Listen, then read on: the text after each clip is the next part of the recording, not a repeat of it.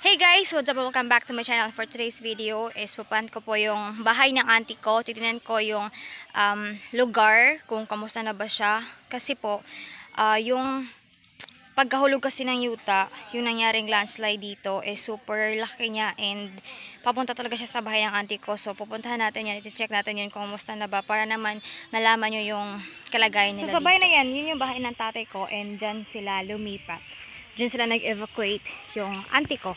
And ito na bahang pong na to ay siyang bahay ng auntie ko na siyang ah, super daming tubig. But then, look at that guys.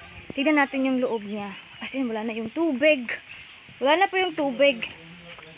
Look at that, ba? Wala na yung tubig. Pero, tignan natin yung dito ang banda.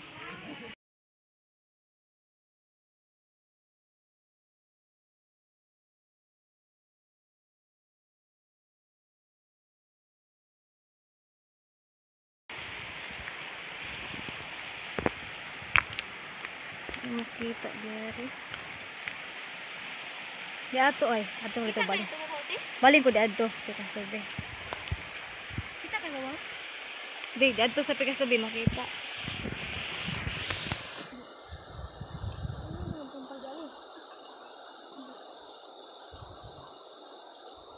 Ini nak kalau bi uno, kalau nak kalau.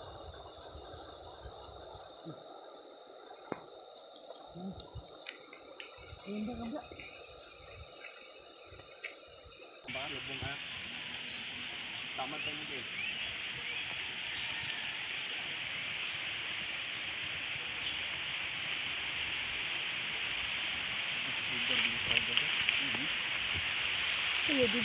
Nagmakitaan ba na rin mo sa nila? Mula, tigadya kayo. Parang pagpahong. Tugas-agas ya.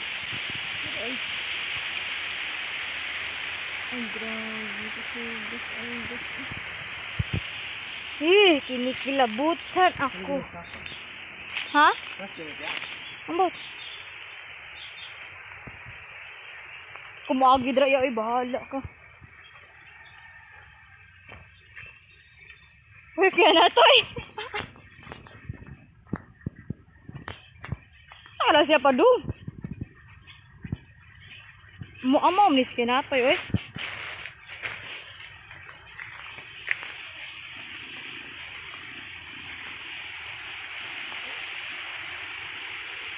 Na, malubong ka sa. Mawara di. Masa jari. Dito lang tayo.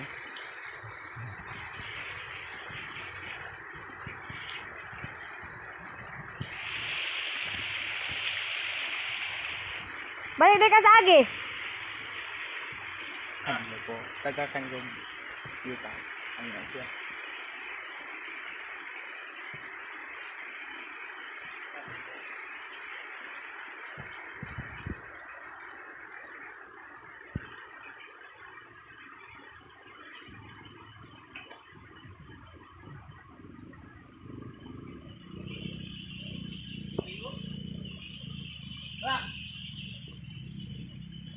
Malubong ka dira oy.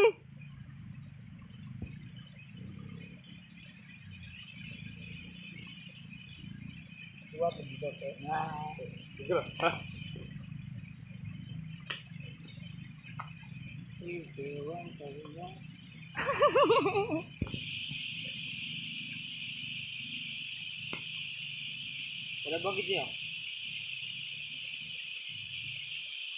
Nabos basa ng tubig. Agay oh. Ha? Ligo kaya?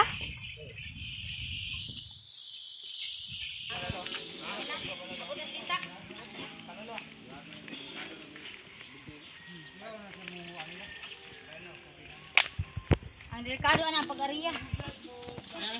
So yun guys, napuntahan ko na siya, na-videohan ko na siya. So mamaya po ipapost ko yon at sana po ay makapagbigay tulong kayo. Sana matulungan niyo po kami kasi po hindi ko na po talaga naintindihan kung bakit po siya nagkakaganon. And sa tuwing tinitignan ko siya ay super kinikilabutan talaga ako. Natatakot ako para sa ah, sa mga pinsan ko, sa auntie ko. Natatakot ako para sa kanila. So dapat talaga um, tamang-tama yung ginawa nila, nag-evacuate agad sila. And then, yun nga, tulungan niyo po kami um, hindi lang yung pangangailangan na tulong kundi pati na rin pag-pray kay God nasa na po yung mawala na to at matigil na to